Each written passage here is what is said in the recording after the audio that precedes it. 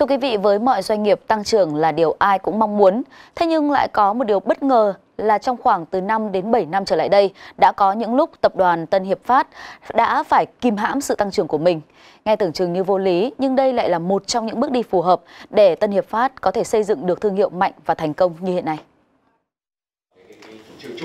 Phát biểu tại tọa đàm, tạo đà cho doanh nghiệp tư nhân phát triển diễn ra vào sáng ngày 22 tháng 11 tại Hà Nội. Bà Trần Uyên Phương, Phó Tổng Giám đốc Tập đoàn Tân Hiệp Phát cho biết, trong vòng 5 đến 7 năm vừa qua, tập đoàn phải kìm hãm sự tăng trưởng. Lý do là vì tập đoàn nhìn thấy bộ máy lãnh đạo tổ chức đã đến lúc phải được tăng cường năng lực thì mới đi lên được vị trí cao hơn.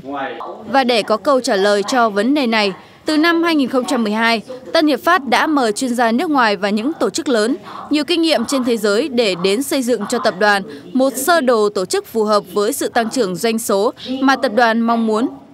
Bên cạnh đó, bà Phương cũng cho biết hiện nay rất ít người biết ở Việt Nam, doanh nghiệp gia đình chiếm đến gần 70%. Hiện nay đa số các doanh nghiệp tầm 20 năm đến 30 năm thì bắt đầu chuyển sang thế hệ thứ hai hoặc các mô hình kinh doanh khác như lên sàn chứng khoán. Đó chính là những cái họ phải thay đổi để ngày càng phát triển. Riêng đối với Việt Nam thì nếu như mà đến giai đoạn hiện nay thì đa số các doanh nghiệp đều ở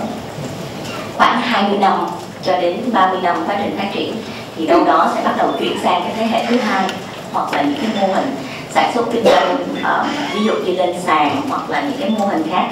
vậy thì đó chính là những cái mà họ sẽ cần phải thay đổi cũng trong buổi tọa đàm trực tuyến, các đại biểu và các đại diện của nhiều doanh nghiệp còn chia sẻ những kinh nghiệm của mình trong việc xây dựng, phát triển doanh nghiệp, cùng thảo luận về những khó khăn cũng như thách thức mà các doanh nghiệp tư nhân Việt Nam đã và đang phải đối mặt để từ đó có chiến lược phát triển phù hợp.